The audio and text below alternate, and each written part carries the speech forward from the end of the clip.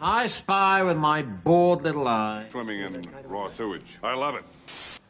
ultimately, if this is the kind of thing you want to do, it doesn't matter if anyone watches.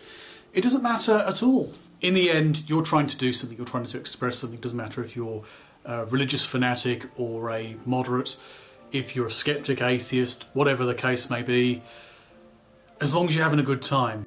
It doesn't matter if you're making video reviews, you know, reviews of films, reviews of gear, like camera gear, uh, reviews of cameras whatever the case may be. It doesn't matter if you're doing vlogging reviews, you're doing makeup reviews, you're doing food reviews, you're going to do some kind of mukbang.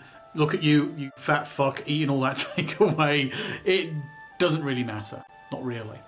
You know, if you're doing something that you like, then do it. I mean, if you're not creating drama, I mean, maybe you don't want to create drama. People who want to create drama create drama. Some people who don't intend to create drama create drama.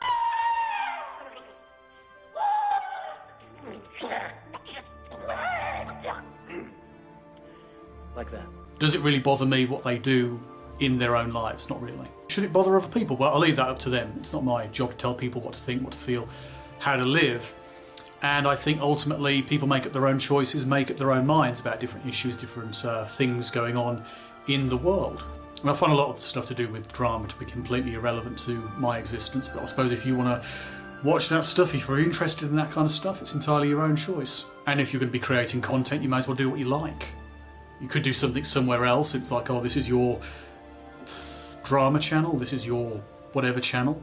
You know, th- this is the one where you talk uh, endlessly about Pokemon.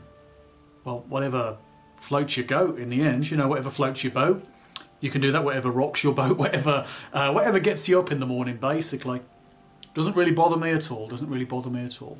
Because ultimately, you're doing what you want to do. And if you create drama or want to create drama, you can do. If you want to avoid it, largely you can.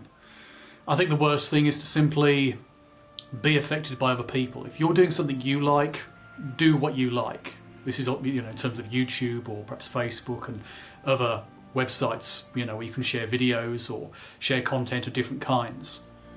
And if you find a benefit from that, that's the important thing. And also, I think that is the important thing as well to find benefit from what you do. If you don't find benefit from what you do, why are you doing it? Are you trying to influence change, but you, then you, you feel like shit yourself? How's that working out for you? You're trying to feel good about yourself by expressing something you care about, something you're interested in. What are you trying to achieve? I think that's the important thing, and for me, I don't really have any set goals. So I've kind of let things slide. Because unless you really have that passion, that focus, there isn't really much point at all.